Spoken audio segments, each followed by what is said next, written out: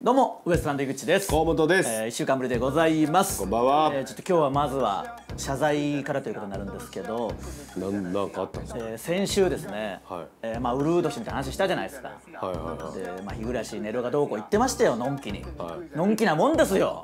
そん言ってましたなけど別にこち亀の話なんかのんいきし。やいやいつも別にそんな話ばっかりだよ。いやいやでもこれは本当謝罪です。その時に、ブチラジもなんだかんだ長くやってて、ウルード氏も3回ぐらい来てると日暮寝ろじゃないんだからみたいな。言ってたじゃもうないですか。ええよその話をもう繰りあ返さんで。のでも違います、えー、4回目でした、えー、失礼しました、えー、ブチラジはもう長いことやりすぎてウルード氏はウルード氏は4回目でした。謝罪も悲しいし謝罪の内容ももっと悲しい。えー、2011年ぐらいからやってるのでだからもう4そんなこと謝罪せんでええわって言いたかったけど、悲しすぎる。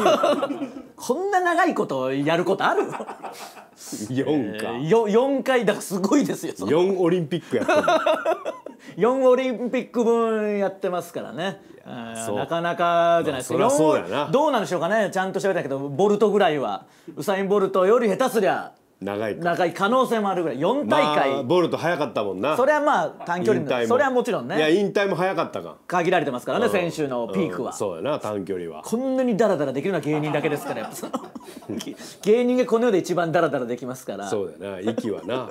だって勝手にやりゃいいだけですから。ねややりゃやれるけどどんだけ老いたってな。いやーもうすごいですよ。4回だったというこれは失礼しました本当にね。ええもうええよそんぐらい。あとまあこれ別に なあのまあどう言えばいいか分かんないですけど、えー今日これ、まあ、水曜日に撮ってますけど、ん。配信木曜日じゃないですか、ん。なんで今朝、まあ、見てる人からしたら今朝「ラビット!」に僕ら出させてもらってあーそうですねると思うんですけど明日の朝ね。明日の朝、はい。であの予告見たらタイムマシーン3号さんもあの、ゲストで「まあ、ラビット!」結構芸人さんいっぱい出ますからそうですね。タイムマシーン3号もいたんですよ。うん。そのま 日曜日にあの、まあ、ベストワンの収録あってタイムマシーンさんいてうん。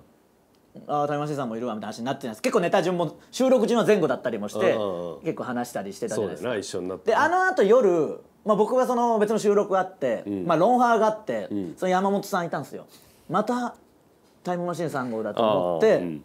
たら、えー昨日、もう、あのタイムマシーン3号と一緒だったじゃそないですか。で1週間でなったら、まあ、要は木曜日、まあ、明日明日も一緒。もう一緒じゃないですか、うん。で土曜日も、まあ、タイムマシーン3号と一緒なんですよ。その週45で タイムマシーンさん。なんか会う時は会いますよね。合うなあんまりその陣内さんぐらい合うだからまあな m 1直後の時の。えもうなんか言ったかなその話も。m 1直後いろいろ出させてもらってあふと気づくと陣内さんがどの番組にも出てますから、週5ぐらいで陣 陣内さんに会う時ありましたけどね。その状態陣内さん状態。陣内さん状態。芸人を芸人で例えるのしかも俺が悪いか。しかもなんていうの？あのまあ、えー今度の土曜日は、タイムマシーンさんがやってるやつに出させてもらうけど。そうですね他のはなんかこうゲストでたまたまそうそうそう。ましてやまあ昨日は言ったらネタパレだったんで、5組の中にたまたまタイムマシーンさん3本撮りだから別にね別に合わん人もいっぱいおるわけ全然いる中たまたま順番前後ぐらいでタイムマシーン3号 そんなに合うなんかそんなんて言えばいいのかな実際会ううのはむずいけんな。あんなに。まあねあの、うん。いだからまあロンハーは合うと思うけど。いやいやでもやっぱなんていうの？じゃあよく言う、えー小宮さんもともしげさんも、まあ、僕もうん。一緒にこう世に出て、うん。っていう話するじゃないですか。ん。とはいえそんなには意外とは一緒にはなんないじゃないですか。意外とな？意外と。うん、一緒になったらまあ嬉嬉しいってしいし、まあ、よく会うなぐらいはあってもこんな週4号、ん。しかもタイムマシーン3号にん。会ってどうする？その。どうもせんよ別に嬉しい。もっと言うと最後まあ土曜日。落ち着く先輩土曜日。もっと言うと土曜日、ん。あのとにかくタイムマシーン3号と2人2組でとにかく長く撮るんですよ。そのまあ信じられないぐらい。もう今から言ってくれ信じられないぐらい長く撮るんですよ。もうびっくりしたよ。そのこれ本当かって思ったよ。いうぐらい撮るんですよ。収録スケジュール見たらな でも間違えたと思った。間違いじゃなかったからとにかくすごいまあよあの5時間撮るんです5時間の撮るね5時間。びっくりしてう嘘つけて。となるよな。この5時間の間のどっかに僕ら出るんだろうなって思ってたら。タイムマシーン3号とウエストランドで5時間。撮ります。っていうまあそれを念頭に念頭にあったけどこの1週間で急激に会ってるからいよいよ話すことないっていうか。もうない。楽屋でもちょこちょこ話すし。なんで一緒に上がったん？タイムマシーン3号 やだから。先輩のはずでだいぶ。そうなんですけどね。でなんかあの人たちってもうなんていうの気さくというか結構楽屋でも話しかけてくるじゃないですか、特に山本でさんとか。2人も仲いいんで。そうそう2人も仲いいし。意味わからん。だからなんか2人で話してくんだろう。僕らが2人いるところに2人で来て2人で話してくるからそうそう。もうそれが土曜日やるやつなんだよその。そんなことさもうやったんだそうそう僕らがもねなんていうの楽屋とか、えーで2人でいるのはまあ同じコンビだからあるじゃないですか、そこに誰が来る時って基本1人で来てよっそうそうそうそう。ぽどじゃない限りそうえーじゃあともしげさんが来て話すとか小宮さん来て話すとか、えー尾形さん来て話すとか、まあ、相田さん来て話すとかそういうんじゃないですか。なぜかタイムマシーンさんが2人で来るから。2人で来て2人で話す。でだよ。4人で話す。なんでだよ。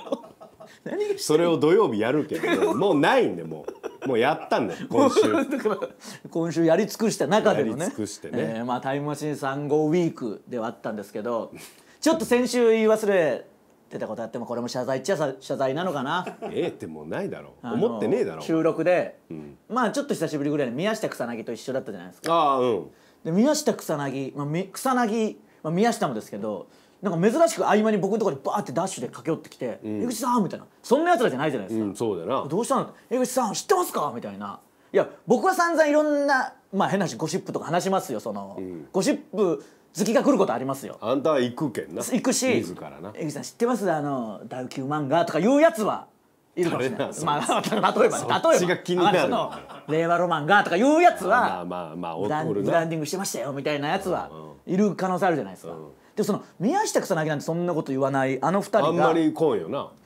ばむしろ井口さんもいいっすよみたいな草薙とか特に、うんもう面倒くさがっとるもんな。の草薙がニコニコしながら僕のとこに走ってきて、何事かと思ったら「知ってますか?」みたいな「え何?」って「パーも大佐潜在写真変えましたよ」やっぱあいつらまあでもまあ知ってたんでしょうね僕がそのなんかパーマ大佐好きなのな。いやこれを、えーあウクレレを。パーマ大佐お前が好きなの知っとって。ウクレレを絶対価格に入れたい潜在写真まあ方々で僕もまあ方々でって言って応募どこも。ろじゃないお前ネタでもやるね、まあね。必ず。ネタでもネタでもやるけどやっぱネタでやってたらいつの間にかあんな草薙が笑顔で走ってくるぐらい、まあな。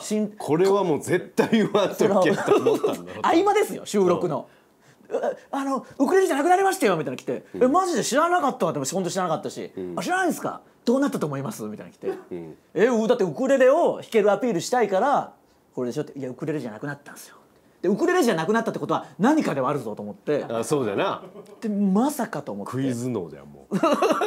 でもまさかと思って、えそのまあパーモ大佐はね、面白いまあいないとは思いますけど追いかけてる人がいたら、あの分かると思いますけどやはり最近の活動というかね活躍で言えばやっぱ太鼓の達人、まあそうだよな。まさかと思って。結婚発表もしたしそなそそれもな、うん。そのなんかわかんない。神業急に。チャレンジな。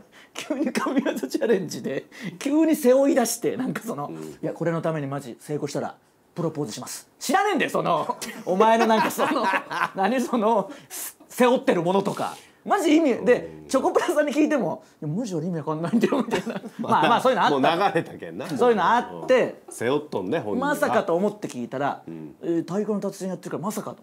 バチ正解です」お前正解した？正解その両手に。お前すごいんか両手にバチを持っそのでもなんで今一番押したい楽器を持つんでその潜在写真です。まず。とかいろいろその見てみここれなそのまあ YouTube の人にこれ流してこれ。そのなんでそのいまあ一番好きなものを持つんだよ。そのでもっと言うと。言ったん事務所に。そのそうそう。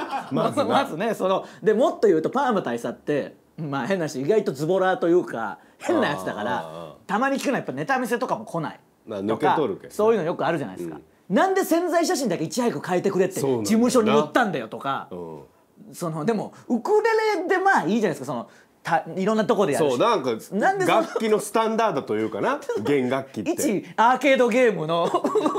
まあすごいよ太鼓たちはもちろんね、いやだけどまあちゃ太鼓の達人のバッジだもんな。ちゃんと。和太鼓のバッジとかならわかるけど太鼓の達人のバッジじゃもん和太鼓のバッジじゃないけんな大えーできたドンとかのやつでしょその。そうそうそうそクリアしたドンとかの。潜在写真変えたドンの。どうするあのパーマ大佐の顔が流れて。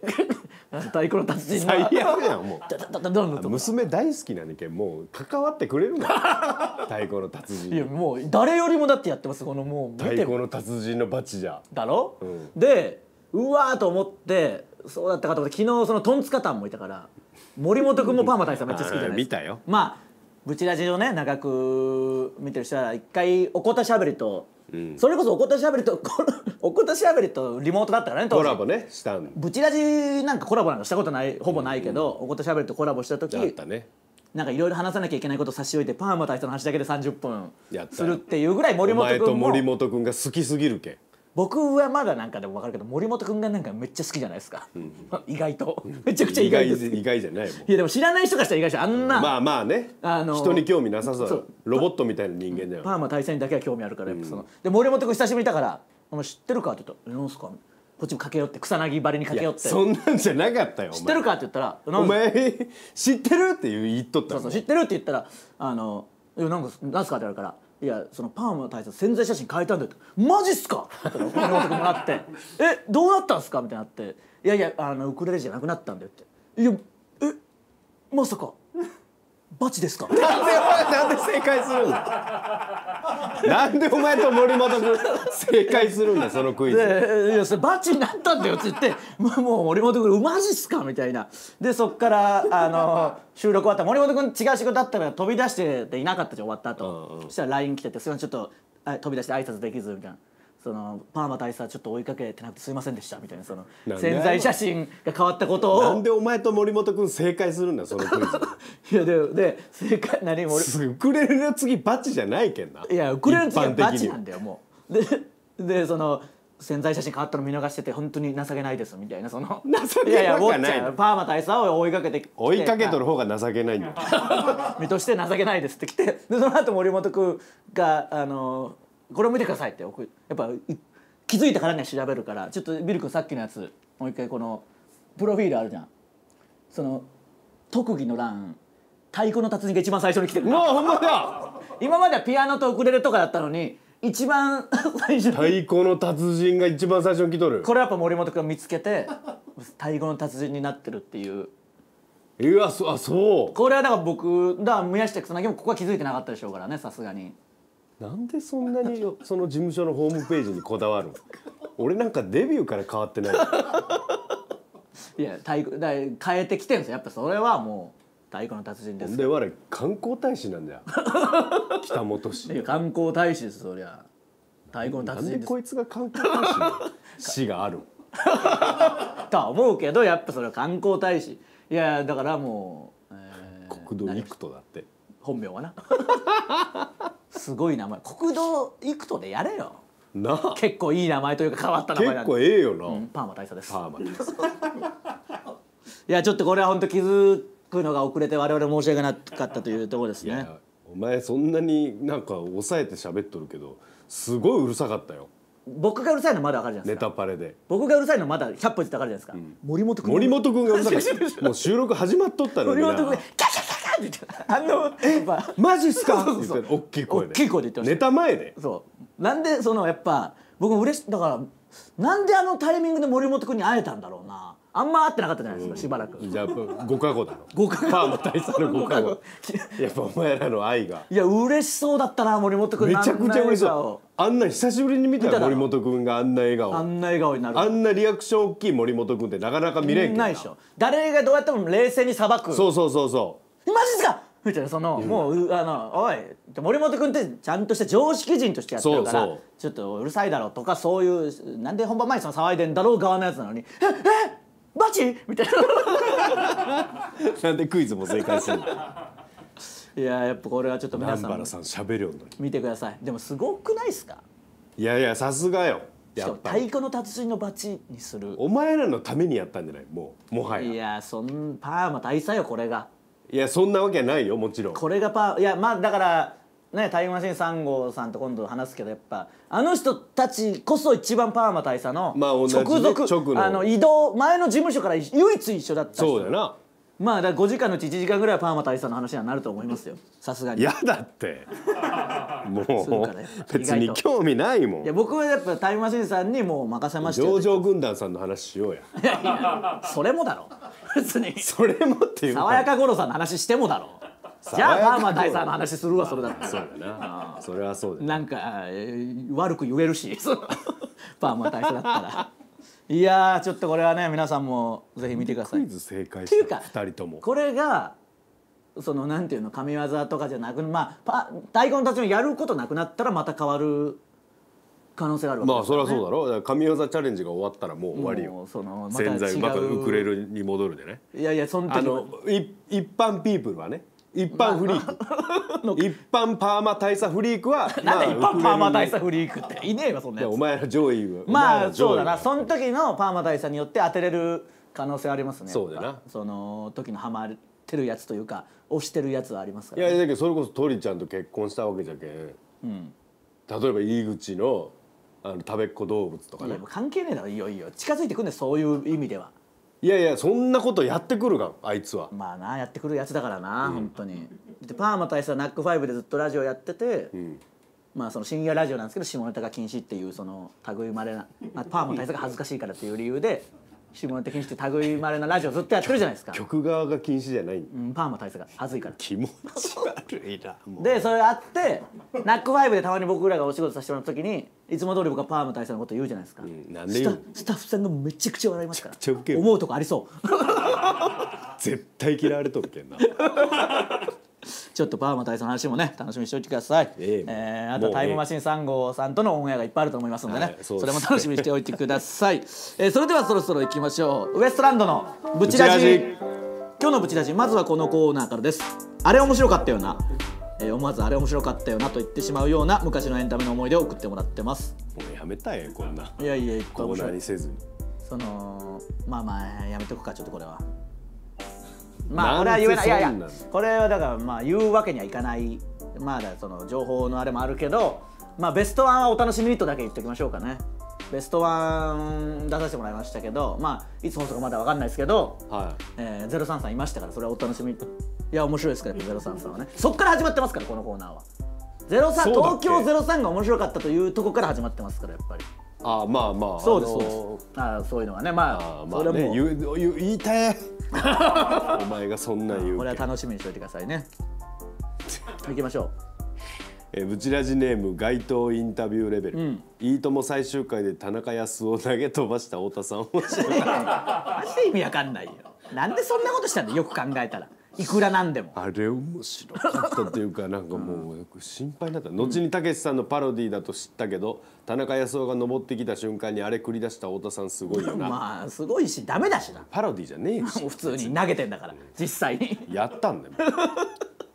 いやいいよとも。う怪我せんかったよなほんまに。いいとも最終回のこと言い出したらねもうそりゃもう伝説伝説ばっかりですからそりゃね。太またむちゃくちゃしようだもうその伝説はねここで話すようなことじゃないぶちラジ話すのはもったいないんでねいいとも最終回の話なんかしませんよ。地上波で。しませんよこんなとこでは。おしゃれクリップおしゃれクリップで外す あのいいとも最終回の話を引き出そうとしても無駄ですからこんなとこではしませんから、しませんしませんそんな。そんな安売りはしません、こんな一番安いところではしません。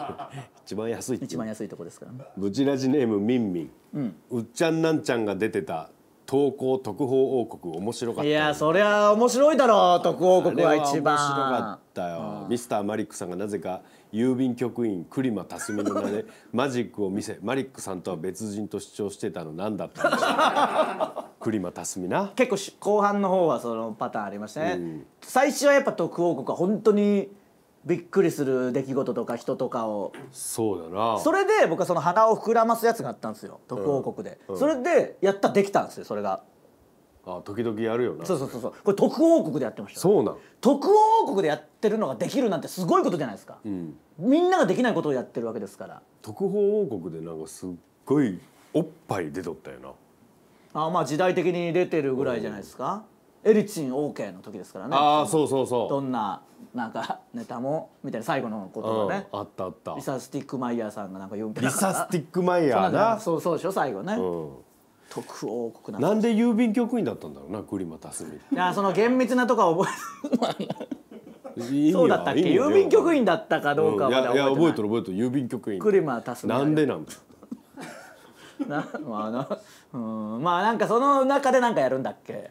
別人なんですもんね。VTR で VTR でやるんですよ。なんかマジックやるんだよな。でもマリック。素人として。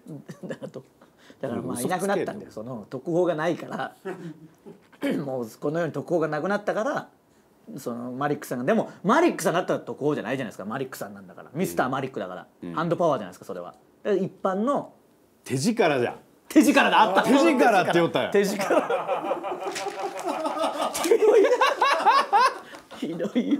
なんそのいや面白かったし。手力は力じゃがもう。手の力じゃが。力力ですから。でもそのハンドパワーを手力と呼んだのでよくいけたよな。いけたよな。いい時代ですよ。でもキャッキャッと言ってましたからそれ手力で。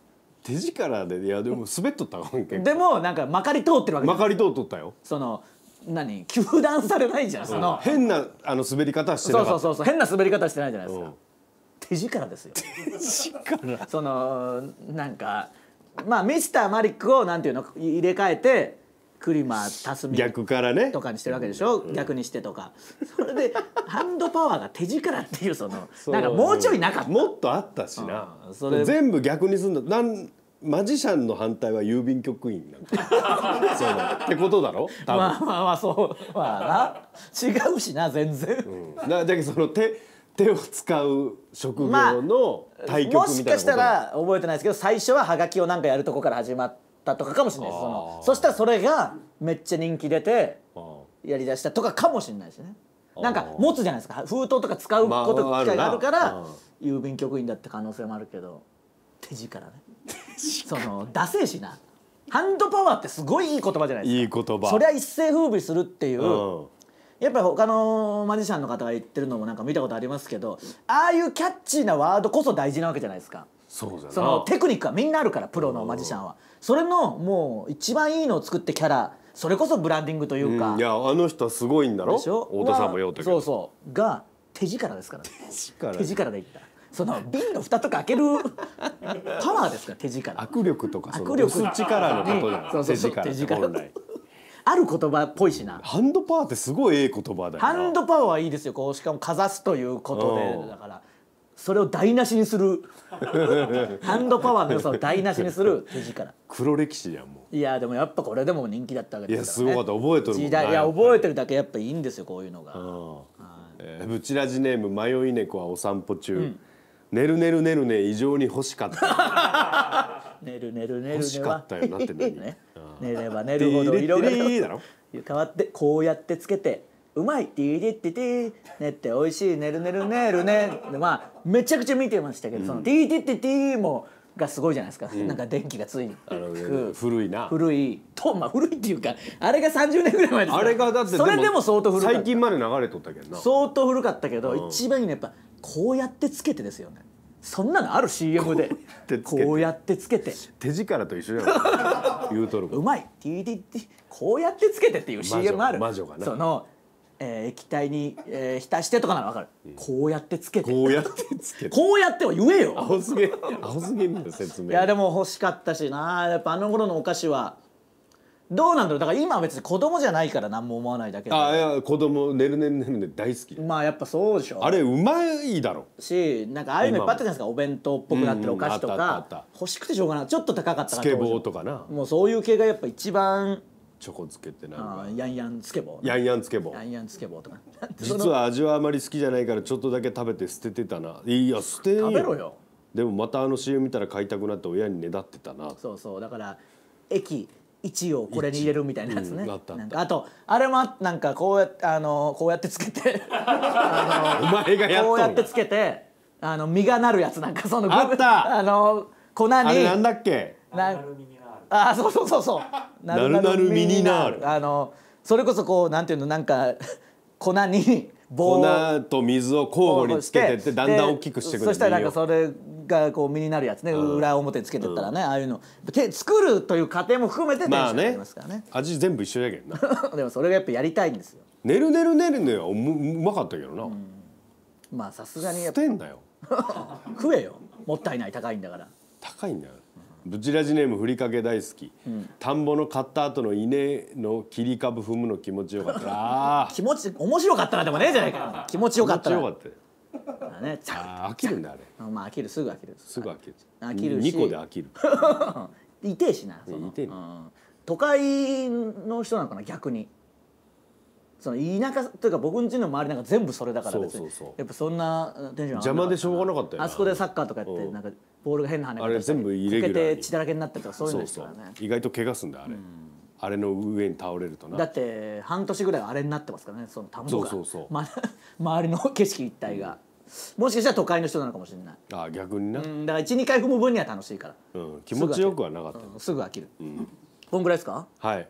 えー、ちょっといやあれ面白かったよなだからそれ気持ちよかったなじゃないんですそんなことじゃないですから。まあまあただ昔の本当にとらわれずこの世代に合わせようとかせずまあ知りたいもあるけんな。寄せてくるのも違いますからね、それはやめてくださいね。そうですね。えー以上あれ面白かったよなのコーナーでした。続いてはこれいけますか、えー他人から、えー薄い恋を感じたエピソードを送ってもらいそれがいけたかどうか僕が判定するコーナーです。い。きましょう、はい、うちラジネームまさひこ井口さん河本さんスタッフの皆様こんばんは、はい。僕はこの前の飲み会で一緒になった大学時代の同級生から「まさひこ最近かっこいいよね」と言われたりその子のはめている指輪を僕の指にはめてもらったりしました。これいけますか？なんでこれ？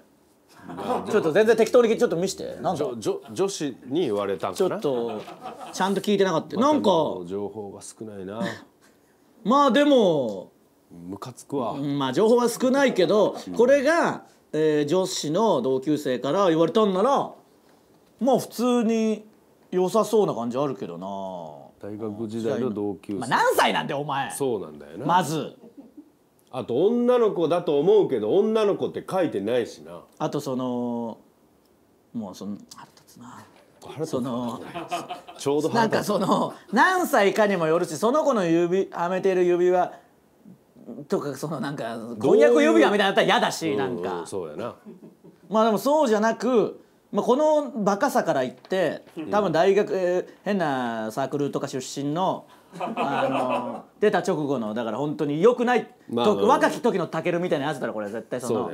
若きタケル一軍のやつそのやつっぽいから一軍っていうか。その一軍でもないけどこういう変な本当はしょぼいけど20代後半でな多分。が前半ぐらいかもしれない。下手すりゃ。下手すりゃ。25ぐらいかな。だからアホじゃけんな。ぜなら。違う若いやつ全員アホっていう老害でもなんかまあそういうののノリでやまあうんあんま考えたくねえな。なちょうどムカつくんだよな。なんかなんか、ちょうど足りてなくて情報が。うん、まあでも勝手にしたらいいんじゃないですか好きにしたらいいんじゃないですかね。いけますかって聞いとるで。いや好きにしてくださいそれは勝手にね。おはようございます。いやってる時だからその社長来たけど。いや社長来た。あなんでその社長ブチラジ中に僕のその病院の予約の紙を流してくるんですか？ブチラジやってるんですよ社長。お前言うねああありがとうございます。すいません。ちょっとねあんま言うな。のーお前あんまりオンで喋るえー社長に。逆にオンでいかないと怒られるから。で怒られはしない怒られはしないけど。あのまあ病院にあの別に大丈夫なんですけど検査に行ってまあ行ったみたいな話したじゃないですか、うんそこからまあ一応定期検査みたいなそうでもすごいですよやっぱその「タイタン」って。その僕はやっぱ「タイタン」すごいなっていうかタイタンはすごいよ。そのファミリー的事務所みたいなの言うじゃないですか、ん。その病院に社長と一緒に行くんです。お 母さんすぎる。40の僕が独り身だからっていうことで。お母さんいや正直もうお母さんよりお母さんですよ。お姉さんまあいいよそ そこはいいよ別にそのお姉さんいいんでいいんです。お姉さんって言われたから嬉しいなとかなんないだろ。いやそのだから一緒に病院に行くんでやっぱその社長がやっぱそのこれを。でもねるねるねるねの人じゃない。いや違うよ。あの魔女じゃねえよ。なんかまさにあの例えば今若者がん。YouTube とかやってるわけじゃないですか配信系、うんうんいっぱいね。部屋でこういうのやっててお母さんがこう来てこういうの渡してくるとかありそうじゃない？なんかそのそれのそれの最年長。配信中にお母配信中にお母さんが来て何か渡される最年長。記録更新。40配信してたら親が入ってきて親が入ってきた。最年長40です。えー、行きます。大事行きおます、母さんは最年長じゃないよ。お母さんは若いですそけどれは最年少。最年お母さんは最年少。最年少ではないわ。なんなんでそれ、えー、ということでまだまだ読みたかったんですけど終わりました。時間が 時間が来てしまいました。かわいそうじえー、病院には行きますんでね。まあ別に大丈夫。検査ですからね、えーあそ検査というか大丈夫なんですけどね。一応その定期的にい行かないとやっぱそのお母さんに怒られるんで お母さんが。お母さんに怒られますからね。もういいよ別に。喜ばないんだろそれで、えー、以上これ行けますかのコーナーでした。病院には行きますけどね。ゃん。病院に病院には行くんだ行かないとそれりそれは嘘じゃなかった。行かないと怒られますからそれ病院はね。なんで怒られるの？怒られんって。怒られますよそりゃ。だって行きなさいって言われて言ってるんだからそのとにかく野菜を食べなさい。歩きなさいとかその お母さんに怒られてたから僕はそ40にもなって。軍ピーもな。軍軍ピーと。お前特に管理管理されて。軍ピーが軍ピーなんか変な手錠つけられと手錠じゃねえわ。え？軍ピーがダイエットみたいなしろみたいな言われてたじゃないですか。で軍ピーが今あのドラマ出てるでしょ、でダイエットできないんだよ。そのあ役があそうか。そうそうそうそうそう。だから軍ピー。軍ピーなんか心拍数とかなんか血糖値とかが社長に自動的に怒られる手錠つけて。手錠じゃないよ。アップルウォッチ的なやつな。いいいいやつだからあれはお前が怒られるよ一番。手錠だったってあれ。お前が一番怒られるよ。針刺さっとって取れないんですよ。軍ピーが。いやいやたまにある本当のやつで本当怖いですね。針がじゃない僕はその病院に行くだけですからね。お前お前もつけとんだろ手錠。だからそ時計あんまり言うとそのなる。時計型の手錠つけとんじゃああんまり。グランド成功型の手錠いやいいです。も。らった時計だから普通にあれは。しあんまり針ついとんだろあんまりだから言うとまたもう行ったけ？4階に。いやいやじゃなくてそのそうならないようにしてんだから。そうなったら大変だからそのだからあのちょっとそうなったらって言ったらお前じゃあ針ついとんかってなるけん。やめ言うなよいやいやだからそのみんな軍ピーについとる手錠お前もつけうるさいなちょっとと黙ってくれ。よみんなにお願いなんです。その僕がねそのちょっとウォーキングしましたとか、なんか野菜食べましたみたいな写真載せてたらあのいっぱい拡散してください。社長に届くようにする。届くって偉いみたいな違感じ。でう違うそのワンターンで届くけん別社長にみんなが拡散あせんのの社いやいやでも見逃す可能性あるでしょそれフォローも多いし。ささもいっぱいやったかのようにな。のあるし届いちゃんとやってるなと思わせ時る間差で拡散してくださいじゃあ。いやバレるわさすがに。一回ねここでありましたけど社長からの罠もありましたからね。その社長が 僕は今日は久々に午後空いてるなと思ったら社長からい えまあ旧当時ツイッターで、えーこういうのここたこういうのあるよって美味しそうな食べ物の写真が来たら、まあ変な話ちゃんと見ずに「うわ全部美味しそうですね」って送ったら一つ最後猫かなんかの写真だったっていうのもありましたから。でガシャーンでもなもういやなってねえわもういいよ。クビになれよお前なんかもう。お前知らんぞほんまに。軍ピーと同じ手錠つけられる。何回言うんだよもうマジであの針ついないんだよ針ついてるやつううるせえ。しつこいな。何をそんな気に入ってんだよ、爆発するやつ。えー、終わりです。もう外した。らとっく外したら爆発するやつえー、もうクビになれお前は、えー、ブチラジは YouTube とキャストとオーディオブック .jp の兄弟プランで配信しております、えー、YouTube でご覧の方高評価ボタン押してくださいね。押してないやつ、い、いねボタン押してないやつも押せよ。お願いえーします。今回のオーディオブック特別編はモデムのコーナーを行いたいと思います。モデムえーなんでね、えーまあいろいろオンエアになるやつも見てください。よろしくお願いします。はい。ああとあのユニクロのあのウェブ CM で、店舗で僕の声が流れてるみたいな話もしましたけど、なんかあれもうちょっと先かなんかだったっぽいんで失礼しましたそれは本当の。ああそうなの？まあ、だからパーマ大佐の話よりそっちの方を謝罪しなきゃいけなかったんですけど。当たり前だ。ろえーまあそれだけちょっとすいません。まあいつかは流れるんで、えーそれも楽しみにしておいてください。えーウエストランドのブチラジ今週はここまで。また来週。さよなら。ありがとうございました。いやーやっぱ特報告夢中で見てましたからね。結局みんな見とったけどな。マリックさんのマジックもやっぱみんな見てましたから。あれはじゃなくて押せよ。ちゃんと。いや急にそのリアルタイムで見てるのに押さないやつ。リアルタイムで見てる人は特にね。だって今押せばいいんだから。手力。なんで手力使えよ。手力。お前らの手力見してみろよ。手力で押せよ。手で押しゃいいんだから。頼みます